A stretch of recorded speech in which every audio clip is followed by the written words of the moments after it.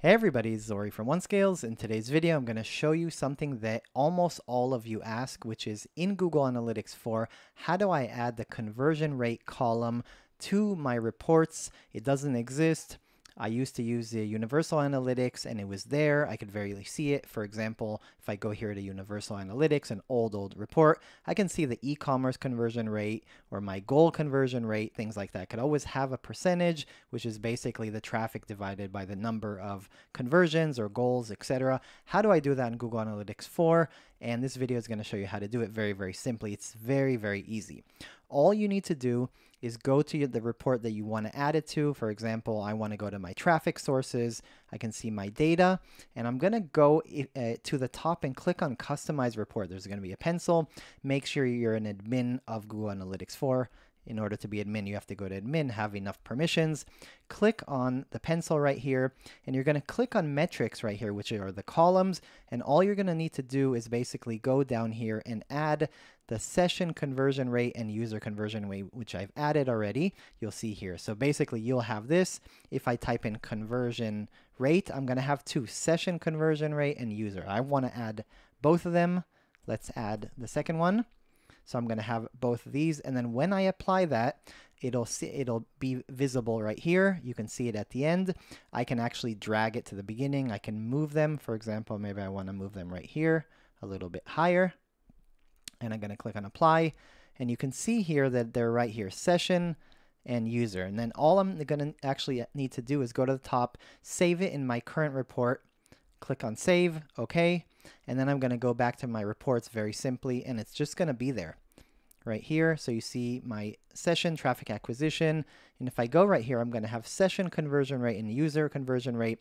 What is the difference between the two? Session uh, is a visit of a specific visitor to your website that has some kind of activity within 30 minutes. Once they stop using the, the website for 30 minutes, their session is gone. If they come back an hour later or a day later, it'll become a new session. It could be the same visitor, but it will be a new session. The same the user is the, the same person that came, or the same visitor, excuse me, that came again and again that was recognized which which could mean that one user could have multiple sessions, but depends on on the visitors. So you want to add both of them. They're a little bit different metrics. Now, one very important thing to note is the conversion rates are going to be obviously the traffic divided by the number of times the conversion happens. And the conversion rate happens on all of the conversions, not the events. The events, if you're familiar right here, the conversions. So whatever you've marked as conversions, for example, all conversions, or you can filter by specific, for example, purchase for e-commerce, or something you've defined. So it is only conversions. It is not events if you're familiar with that. So it's not events. You can only do it if you've configured an event to be a conversion. How do you do that? You go to admin right here and you go to events right here. And these are all the events that you have in the system. If you've taken a specific event and you've actually marked it as a conversion, for example, we have this engaged conversion or a, a engaged event that is a conversion, then it'll be in a conversion. You can see it either all conversion percentages or the specific one via the dropdown that you have.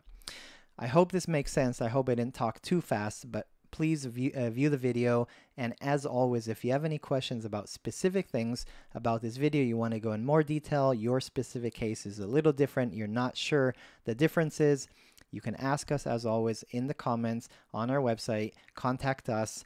YouTube comments, website comments. You can see all of those things and then you can see reports and we'll be making more and more videos for Google Analytics 4.